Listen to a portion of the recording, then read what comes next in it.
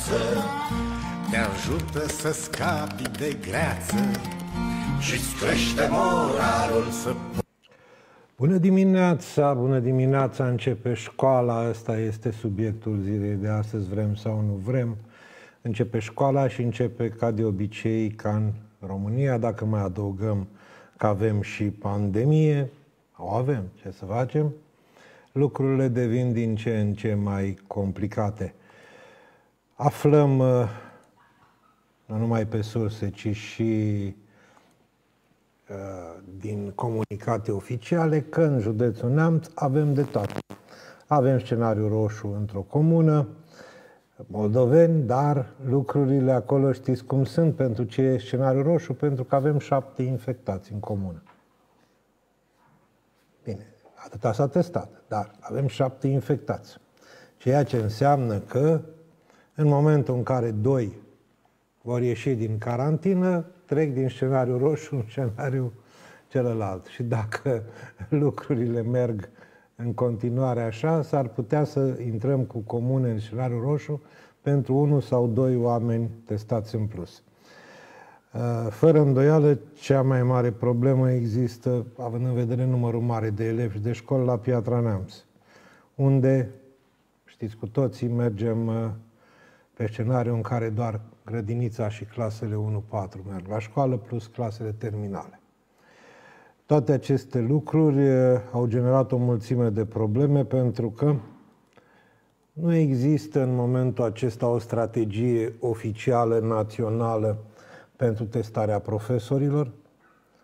Uh, elevii știți cu foarte bine că testarea lor nu intră în discuție decât dacă în școală are simptome sau altceva de genul acesta, pe testare rapidă și acolo și-au găsit domnii noștri să facă uh, un formular, fără formulare nu se mai poate în ziua de astăzi, totul se face pe bază de formular. Așteptăm cu nerăbdare când se va merge pe bază de formular și la baie la școală, cu aprobarea părinților. Uh, eventual unul din părinți să vină la școală înainte, să semneze hârtia, ca nu cumva să răzgândească între timp de când au semnat-o dimineața. Dar despre cum începe școala și problemele începutului de semestru 2, încercăm să stăm de vorbă cu prefectul județului Neamț, domnul George Lazar, dacă reușim să-l... Uite că am reușit. Bună dimineața, domnul prefect. Ați mers la școală? Încă n-am mers la școală, o să merg la servici. O să Am merge... plecat uh, copilul la școală. Pe asta vreau să vă întreb. Ați dus copilul la școală? Am dus copilul la școală, da, este în clasa 1 și merge la școală. Da. Spuneți-ne, ce pro- cu ce probleme se confruntă un părinte prefect când trebuie să-și ducă copilul la școală în pandemie? Mm, Probleme mai degrabă sunt în momentul în care nu duci la școală pe copil în pandemie, pentru că lipsa orilor de curs fizică, lipsa întâlnirii cu colegii de clasă, cu ceilalți copii, uh, mm, își lasă unele sau își pun o amprentă. Doi la mână este foarte greu să ai cu cine să lași copilul tot timpul acasă, pentru că nu poți să lași un copil de clasă da?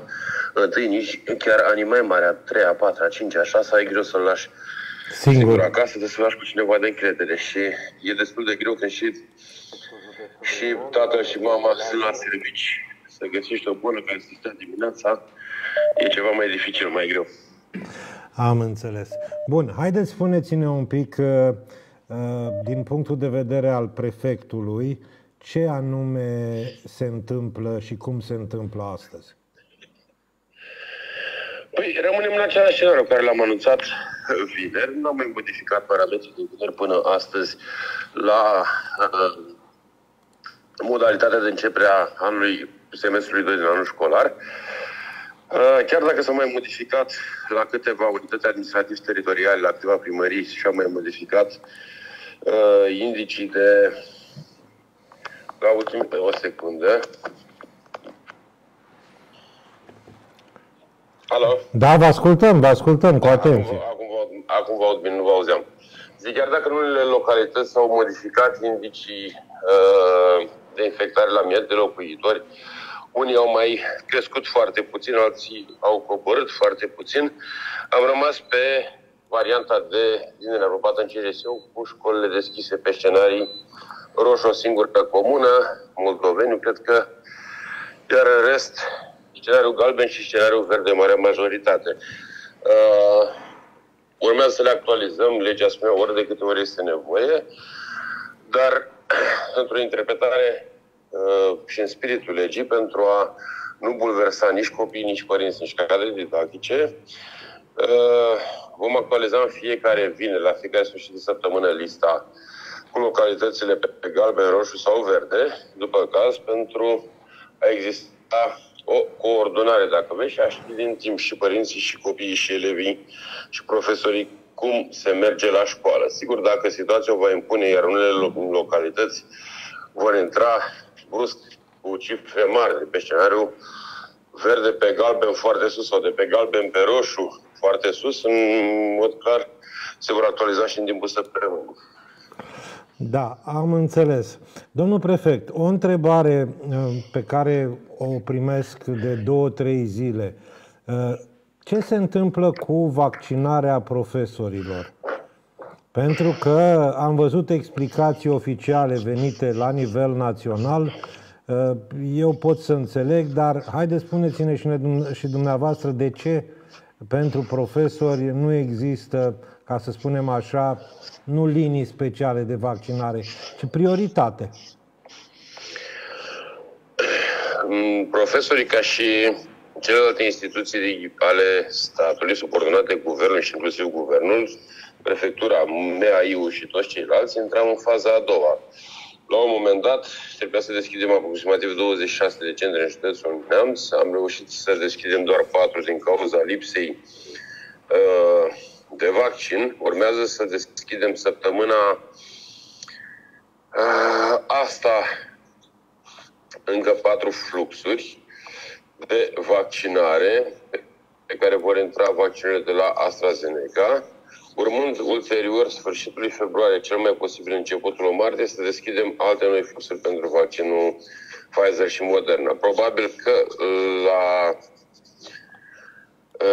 în momentul în care vom avea mai multe fluxuri deschise și vaccin suficient, atunci se va putea vaccina atât persoanele peste 65 de ani, cât și cei care au intrat în categoria a doua, ca și cazul profesorilor.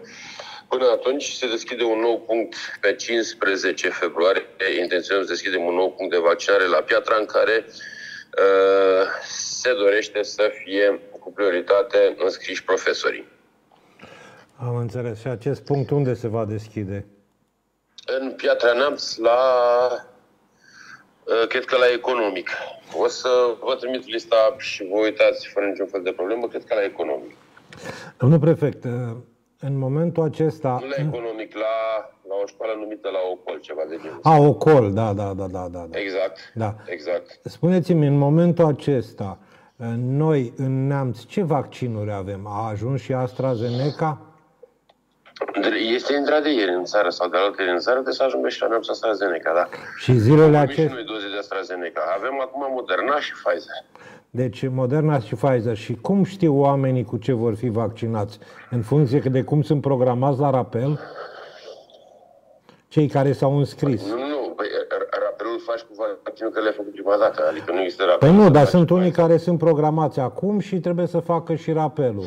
Și când unii sunt programați la 28 de zile, alții sunt programați la 21 de zile. Să înțelegem că cei... 21 de zile, de, scuze, la 21 de zile sunt programați în mod clar cei de la care au făcut Pfizer prima dată, iar la 28 de zile cei care au făcut Moderna prima dată. Am înțeles. Și deci să înțelegem, eu cel puțin din ce am văzut că spunea domnul Gheorghiță aseară, să înțelegem că Uh, în viitor vom avea mai mult vaccin AstraZeneca. Uh, nu știu dacă neapărat pe viitor. Am urmărit și declarațiile lui, lui Gheorghiță. Eu înțeleg că la momentul ăsta se începe vaccinarea cu vaccinul de la Oxford AstraZeneca, urmând pe parcurs cum intră celelalte tipuri de vaccin, Pfizer și Moderna, în țară, să vaccinăm cu, și în continuare cu Pfizer și Moderna. De altfel, vaccinul produs de AstraZeneca este recomandat persoanelor până în 50, peste 18 ani și până în 55 de ani. Deci persoanele vulnerabile, ca să zic așa, peste 65 de ani sau bolnavi cronici, nu le este recomandat acest vaccin. Cel puțin astea sunt datele oficiale prezentate de București. Am înțeles, am înțeles. Ideea, ideea este că am văzut chiar în această dimineață, de fapt astă noapte, că în Africa de Sud, vaccinul AstraZeneca a fost oprit de la distribuție pentru că acolo este o tulpină foarte puternică a virusului asupra căruia acest vaccin și că nu se știe exact, dar se pare că nu are o eficiență extraordinară. Asta... Pe de altă parte, Valerii Gheorghița a spus și foarte clar că începând cu debutul lunii martie, uh, stocuri noi de la Pfizer și Moderna vor ajunge în România în cantități mai mari și vom, vom deschide marea majoritate a fluxurilor de, și a centrelor de vaccinare, urmând să nu mai fie probleme nici la uh, cantitățile de vaccin pe care România le primește, urmând să vaccinăm, uh, dacă se poate spune așa, în masă populația, adică și categoriile, cei din care intrau în categoria 2, precum profesorii și alte categorii și cei peste 65 de ani, să poată să fie vaccinați. Da, deci să recapitulăm, nu sunt practic probleme deosebite în neamț în acest moment, cu excepția moldovenului, care e în scenariu roșu, dar și acolo e vorba de două, trei persoane care fac diferența.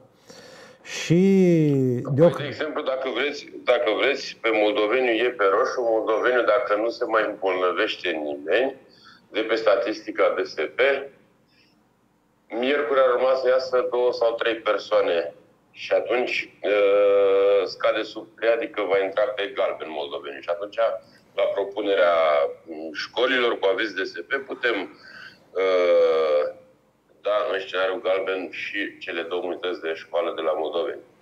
Bine, vă mulțumesc tare mult, domnul prefect, pentru intervenție și, și eu, cu respect. uh, alte probleme cu altă ocazie. Acum vorbim doar despre școli și despre vaccinuri. Vă mulțumim, la revedere! Zi bună! Uh, să încercăm un pic, pentru că aș vrea totuși să lămurim uh, cum stăm cu uh, vaccinurile și după aceea să încercăm să discutăm și cu cineva de la inspectorat, să vedem un pic dacă putem să discutăm două minute cu domnul Radu Firăstrău, directorul DSP Neamț. Bună dimineața, domnul director! Bună dimineața, domnul. Bună dimineața. Scuzați că vă deranjăm uh, la cafeaua noastră, domnul, domnul director. Spuneți-ne un pic în momentul acesta, în Neamț, cu ce ne vaccinăm? Au ajuns și AstraZeneca, ajunge, avem Moderna, avem Pfizer, ce avem? Pe, pe fluxurile deja existente pe care le știți, vaccinăm uh, uh, ca primă doză cu Moderna în acest moment Bineînțeles, uh, avem și Pfizer pentru cei care efectuează rapelul. Pentru cei care s-au vaccinat acum 21 de zile, de exemplu, cu, cu Pfizer în prima doză. Urmează pe data de 15 să deschidem alte noi patru fluxuri, respectiv la Pipiric, la Cortun, la Piatra Neamț și la Bicaz. Și pentru aceste fluxuri va veni vaccin de la AstraZeneca. Trebuie să menționez faptul că acest vaccin se adresează unei anumite categorii de vârstă, respectiv 18-55 de ani, până la așteptarea rezultatelor unor analize și pentru 55 plus. AstraZeneca, după efectuarea primei doze, apelul se face la uh, două luni de zile. A, deci e mai mult, e mai relaxat, ca să zic așa, pentru autorități ca să facă rost de vaccin lucrurile mai, mai largi. Dar spuneți-mi un pic, deci de acum, practic, vom uh, vaccina cu Moderna și doar rapelul se face pentru, pe Pfizer. Mai, se mai primește Pfizer și pentru vaccinare, uh, ca să spunem așa, pentru alte persoane sau doar pentru rapel? Uh, Bineînțeles, uh, cei de la CNCAV ne-au anunțat că vor încerca tot timpul să aprovizioneze cu toate tipurile de vaccinuri care sunt uh, acreditate de, de EMA și autorizate. Uh, deci lucrurile sunt în dinamică. Ceea ce se întâmplă astăzi nu rămâne ca regulă definitivă. În principiu se achiziționează toate cele trei tipuri de, de vaccin, depinde de producători cum, cum vor veni. Uh care ar fi dificult? De ce? A, uite, să vă mai întreb ceva. S-a discutat vreo, vreo secundă undeva despre uh, vaccinarea cu prioritate și a cadrelor didactice? A fost la un moment dat luat în calcul acest aspect, chiar urma pe 8 februarie, adică chiar astăzi, să deschidem un flux doar pentru cadrele didactice. Din cauza acelei probleme de distribuție a celor de la Pfizer, s-a renunțat la, la această idee. Uh, oricum, sunt, uh, există o mare parte a profesorilor care deja s-au vaccinat sau sunt uh, deja care sunt programați, au rămas programați pentru, pentru această fază, unii dintre ei fiind și bolnavi cronici. Personalul din școli, personalul medical din școli, a plecat spre școli acum, nu mai lucrați cu el. Aveți probleme da, cu... Da, da, da. Aveți probleme, aveți probleme Există cu echipele? Care s-a anul s-au anulat toate detașările. Va trebui să găsim alte soluții pentru... Alo? Se pare că s-a pierdut... Noi, pentru că noi la Direcția de Sănătate uh, Se pierd... Deci nu mai avem medicii sau cadre medicale din, uh, din rețeaua școlară. Și aveți, și aveți probleme cu formarea echipelor sau, uh, sau lucrurile s-au rezolvat? Deocamdată ne, ne descurcăm și sperăm să, să fie așa în continuare. Bine, vă mulțumesc tare mult, vă doresc o săptămână și bună. Eu. La revedere! La revedere! Deci, vedem că lucrurile merg în funcție de cum se hotărăște de la București, practic, ce vaccinuri, când vor veni, cum vor veni, cum se descurcă guvernul, profesorii care au avut directori care s-au priceput mai bine la programare atunci când a fost platforma la început, au fost vaccinați, cel puțin cu prima doză. Ceilalți așteaptă cândva se va face o linie de vaccinare și pentru ei. Să vedem dacă îl prindem și pe generalul Obreja la telefon. Da. Bună dimineața! Bună dimineața, domnule general! Bună dimineața! Ce da. probleme sunt în învățământ? Am, am închis ora cu două minute mai repede. Ați închis ora, da? Era, erați la oră. Eu credeam că sunteți, eu credeam că sunteți, cum să spun, de jurnă la supraveghere, dacă sunt probleme sau nu pe la școli. Care e situația? Aveți vreun raport, ceva? Că lucrurile la, nu sunt... La ora aceasta nu, nu avem nicio sesizare din teritoriu. Am fost în contact permanent cu colegii directori de vineri până astăzi dimineață. Le-am transmis, cred că la prima oră, la șase jumătate, șapte, mesajul să mă informeze, să sune dacă apar probleme. Astăzi funcționăm pe scenariile aprobate în ședința Comitetului Județean pentru situații de urgență de vineri, deci din cele 323 de unități sunt 216 în scenariu verde, 105 pe galben și doar două unități, cele de la Moldoveni, în scenariul roșu. Nu avem probleme legate de furnizarea agentului termic, apă, la această oră. Vom vedea pe parcursul zilei. Materiale de protecție? Ur- urmează două săptămâni, sunt două săptămâni foarte importante în care dacă vom respecta cu toți regulile, vom trage atunci o linie peste două săptămâni și vedem exact uh, dacă apar probleme, care este cauza. Da.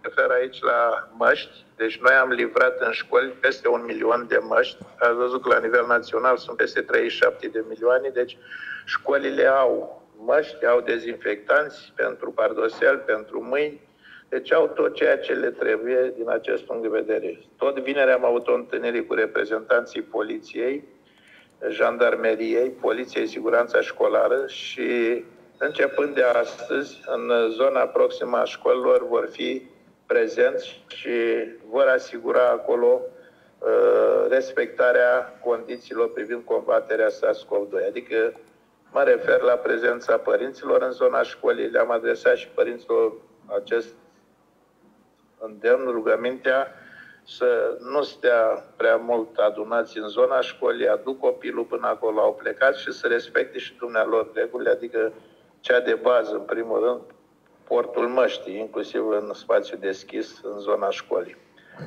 Uh, am transmis în școli și formularul acela de privind consimțământul pentru vaccinul antigen uh, pentru COVID, uh, pentru SARS-CoV-2 și o dispoziție privind decizia privind acceptarea de la portul măștii. Cele două documente au ajuns în școli. Vreau să se rețină foarte clar, această, acesta este cuvântul de ordine, nimeni nu poate fi obligat să uh, semneze acel consimțământ, deci să consimte la uh, ceea ce înseamnă testarea antigen. Da? Testarea se face de specialiști, dacă sunt în școală, la cabinetul medical, dacă nu, va uh, interveni DSP-ul. Da. Vă rog. Da, ideea, ideea este, domnule general, că da. se face de către specialiști. Câți specialiști avem în școli? Uh, este adevărat că, și aveți dreptate, nu avem uh, medici și astăzi am avut o discuție chiar aici la Petru Rareș cu asistentul medical. Dumnealor au fost detașați la Direcția de Sănătate Publică, adică mai exact spre centrele de vaccinare. Astăzi vom avea o analiză completă privind asigurarea cu personal medical. Ne-am lovit de aceeași problemă și în toamnă și în perioada examenelor. Va fi într-adevăr greu pentru unele școli, dar noi mizăm foarte mult și pe sprijinul primarilor care pot încheia contracte de prestări servicii cu medicii de familie. Avem experiența aceasta de anul trecut și eu vreau să cred că orice primar până la urmă responsabil așa se va preocupa de rezolvarea acestei probleme. Până la urmă școala este a comunității. Mai sunt asistenții comunitari. Sperăm să găsim uh, soluții pentru a respecta exact uh, ce scrie în uh, Uh, acel formular și ce scrie în ordine până la urmă. Da. Ce veți face dacă în școli încep să apară cazuri de COVID? Eu vom cred că va fi, eu cred da. că va fi inevitabil acest lucru. Da, vom respecta ordinul. Acolo avem foarte clar stabilite criteriile de suspendare a cursurilor. Uh, la învățăm, la preșcolar și primar scrie clar că la apariția unui caz dincolo la gimnazial și liceal, uh, dacă apare un caz, întâi acolo se face anchetă epidemiologică și ulterior se stabilește în funcție de contact dacă se suspendă sau se iau alte măsuri de izolare carantină. Domnul general, domnul general, scuzați-mă, aveți cumva da. știință în ce, în ce, în cât timp se face o asemenea anchetă epidemiologică? Durează, știu și eu. Că și durează, în timpul cât durează vor se fac cursuri. pentru că nu există, da, că nu există personal. Păi haideți... Dar eu cred că Hai... asemenea lucruri care există sunt reale, cred că vor fi reglate. Vedem exact fiecare situație în parte. Nu știu, mie mi se pare că vorbim de foarte multe ori, așa vin lucrurile ca indicație de la centru. Vorbim de foarte multe ori la nivelul teoretic. Vom face anchetă da. epidemiologică și ancheta se face după trei zile, timp în care da, cursurile dar, se desfășoară. Corect, dar tot școala și aici, peste anchetă, poate să propună într-adevăr suspendarea, a apărut un caz, poate să propună suspendarea cursurilor și lucrul acesta se poate realiza cu consultarea DSP-ului. Când e vorba de a suspenda cursurile la o clasă, nici nu mai trebuie să ceară acum aviz de la noi. Deci, practic, la noi solicită numai atunci când se suspendă activitatea la întreaga școală, pentru că trebuie aprobat uh, în Comitetul Județean pentru situații de urgență. Uh, sunt copii de așa și cadre didactice care, pe motive medicale, nu sunt astăzi în școală, da? Cred că în situația pe care am raportat-o vineri la minister erau 100 și ceva de copii, 192, cred că, de copii și 12 cadre didactice Dar am mai primit telefoane și ieri cu uh, cadre didactice, nu știu, două, trei telefoane, tot la fel, contact sau au în familie uh, sau alte motive medicale. Da. Bine, vă mulțumesc tare mult pentru... Vor fi probleme. Vom... Am înțeles, am înțeles.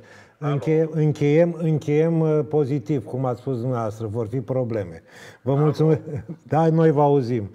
Uh, vă mulțumim pentru participarea la emisiune. Oameni buni, așa stau lucrurile în Neamț. Teoretic avem de toate. Vaccinuri, avem uh, școli pregătite, avem măști, avem dezinfectant, avem elevi care se duc la școală, elevi care nu se duc la școală, avem profesori care au apucat să vaccineze, Doamne ajută, care nu au apucat să vaccineze, mai stau. Uh, în realitate, lucrurile sunt extrem de volatile și se pot schimba de la o zi la alta uh, în funcție de, până la urmă, modul în care interacționăm între noi și avem grijă ca această nenorocită de gripă, ce-o fi ea, bacterie, ce-o fi infecție, să se oprească odată. Ne oprim aici și noi cu emisiunea de astăzi. Nu vrem să vă batem prea mult la cap. Mâine dimineață în emisiune, în direct, avem Musafir, primarul de Piatra Neamț, iar noi promitem să avem foarte multe întrebări pentru domnia sa, că este de unde, ca să spunem așa. Cele bune, la revedere, numai bine!